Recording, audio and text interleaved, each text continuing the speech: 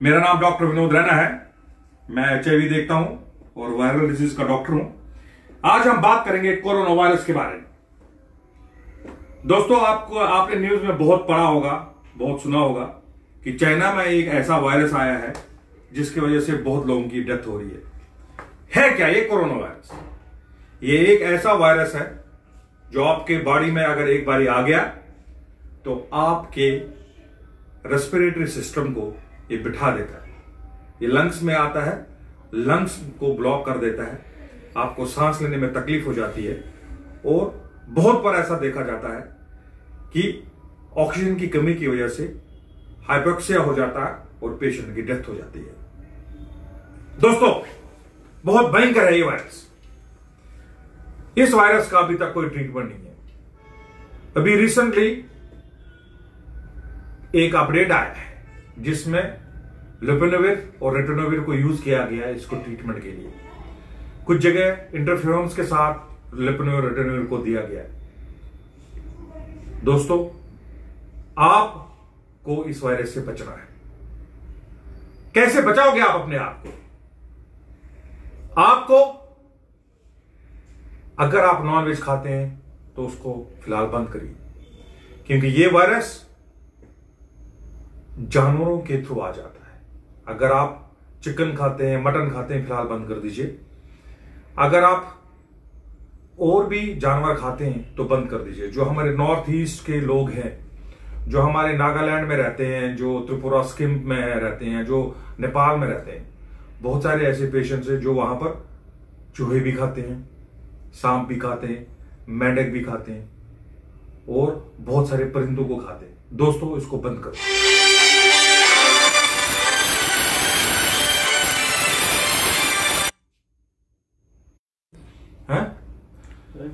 आपको ये सारे जानवर बंद करने, खाना। क्योंकि अगर आप इन जानवरों को खाओगे, इन जानवरों की वजह से आपको वायरस आ सकता है। दोस्तों, आपसे एक रिक्वेस्ट है। फ़िलहाल नॉनवेज खाना बंद कर दें। अगर आप बाहर जाते हैं तो मास्क लगाए। मास्क प्रॉपर लगा के ये बंद कर दीजिए। और बिल्कुल अपने फेस को ढक लीजिए। आपका नाक, आपका मुँह उसमें बिल्कुल बंद होना चाहिए। एन नाइन्टी फाइव एक अच्छा मास्क आता है, उसको यूज़ करिए। अगर आपको ट्रैवल ज़रूरी करना है, मजबूरी है इमरजेंसी तब भी जाइए। अगर आप बहुत भीड़ भाड़ वाले एरिया में जाते हैं तो वहाँ पर जाना बंद कर दीजिए। अगर आपको लगता है कि कोई लोग फॉरेन से आए हैं, जैसे चाइना से आए हैं, उनसे मिलने की ज़रूरत नहीं है। अगर कोई आपके घर में कोई रिश्तेदार है जो चाइना से आया उससे मिलने मत जाइए। अगर उसको फीवर है तो अथॉरिटीज को इन्फॉर्म करें। दोस्तों, इस महामारी को हम बचा सकते हैं, इससे हम बच सकते हैं।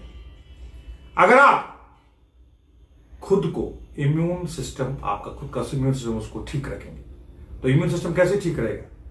उसके लिए आपको नीम के 10-15 पत्ते थोड़ी सी कच्ची हल्दी थोड़ा सा आप अदरक, और उसमें एक टमाटर मिक्सी में ग्राइंड करेंगे।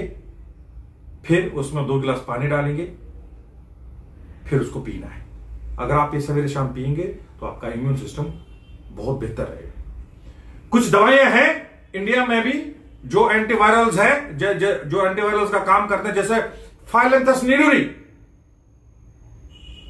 एक ऐसा हर्ब हमारे देश में पाया जाता है जो एंटीवायरल काम करता है। उसका सेवन कर सकते हैं। उससे आप बच सकते हैं। आपको वायरस का इन्फेक्शन नहीं होगा। लेकिन इससे पहले कि आपको वायरस हो, सावधानी बरतिए अगर आप किसी से हाथ मिलाते हैं तो हाथ धोइए। अगर आप बाहर जाते हैं, मोबाइल उठाते हैं, बस में जाते हैं तो हाथों को सीधे मुँह में मत लगाइए। नाक में मत डालिए, कान मत डालिए, मुँह में मत डालिए। क्योंकि आपको इससे इंफेक्शन हो सकता है।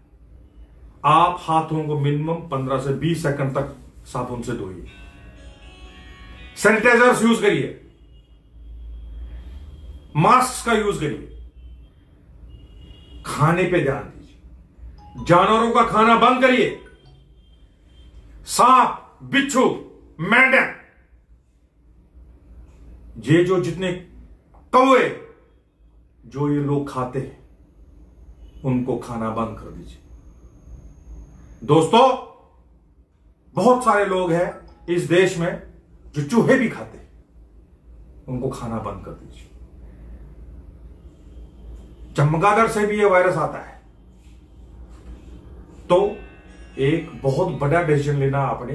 अगर आपको इस बीमारी से बचना है तो फ़िलहाल एनिमल्स को खाना बंद कर दीजिए। वेजिटेरियन डाइट यूज़ करिए। तुलसी के पत्ते हर दिन खाएँ। इम्यून सिस्टम को मेंटेन करके रखें। अगर ये सारी चीज़ें आप करेंगे, आपको कोरोना वायरस से कुछ नहीं होगा। अगर आपको इन्फेक्शन होता है तो आप हमसे संपर्क कर सकते हैं। मेरा नाम है डॉक्टर विनोद रैना। मैं आपको पूरी जानकारी दूँगा इस बीमारी के बारे में। लेकिन अगर आपको लगता है कि कोई भी पेशेंट बीमार है और उसको कोरोना वायरस है तो उसको आरएमएल हॉस्पिटल में भर्ती कराएगा।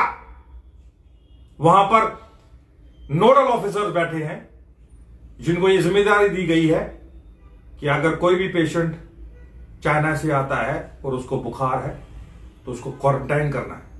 आप उसको आरएमएल हॉस्पिटल में भर्ती करा सकते हैं। आप उसका ब्लड सैंपल भेज सकते हैं। पूना में लैब है जहाँ पर इसकी टेस्टिंग हो सकती है। तो दोस्तों, घबराइए मत।